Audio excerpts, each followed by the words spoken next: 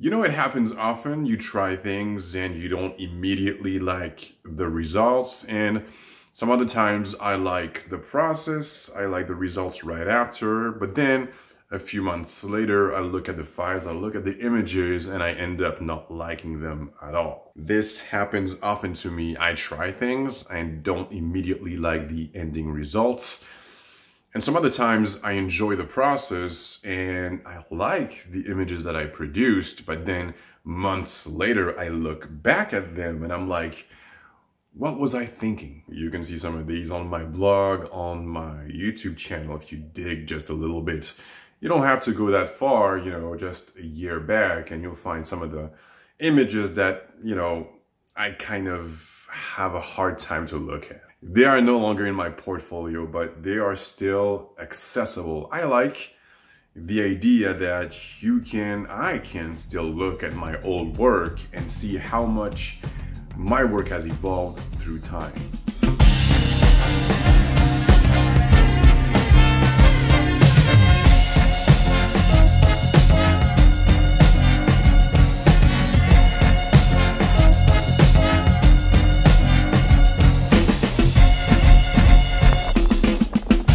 Maeva is not new to my work. She is an ex-gymnast and this gives me the opportunity to test different things. Different angles, different perspectives, different shapes and forms. We also worked in a familiar location, but this time we had a tiny little room and we had to compose with that. The weather wasn't great. We missed the best time of the day. You know that time where the light comes in from the only big window of the room. So yeah, we had to fake it. I put my Broncolor lights on the balcony towards the inside of the room to fake the sun.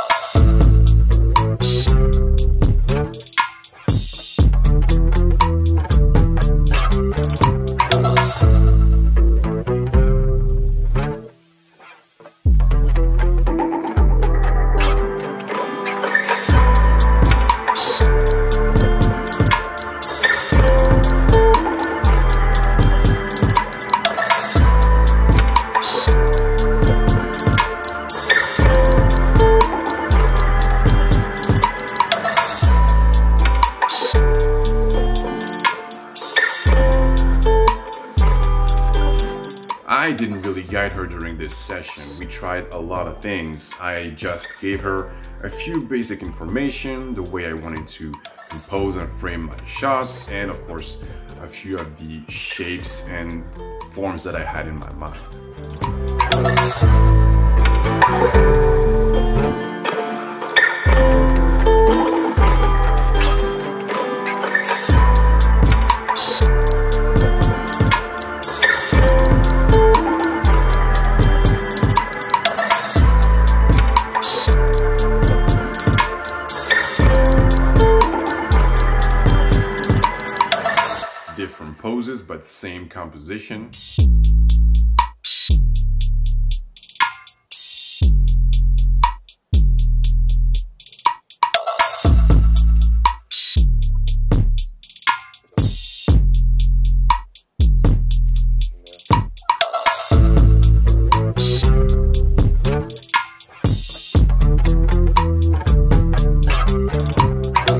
And of course, we took advantage of her flexibility because because why not?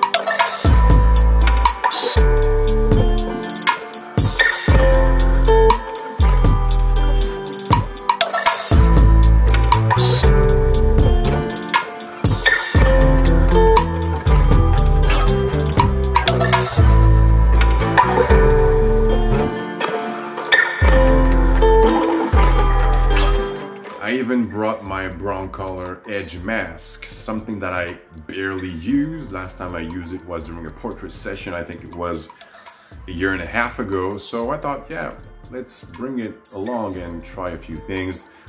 It might work.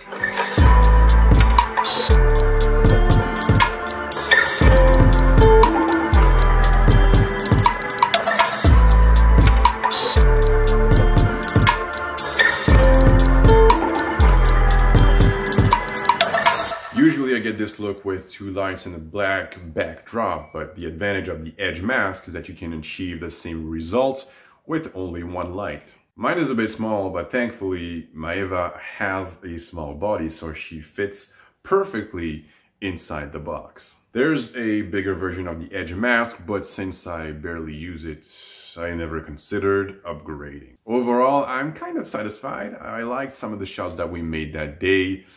I don't know if I'm going to pursue this mix of genres and styles. I don't know. Here are some before and after images so that you guys can see basically how much is done to some of the images.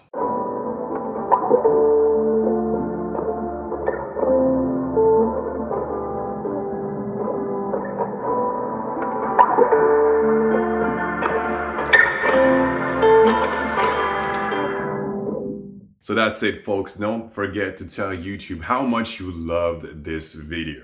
Press that little bell button if you don't want to miss my future posts. I know I'm going to see you boys and girls in my next video. So until then, please have a good one.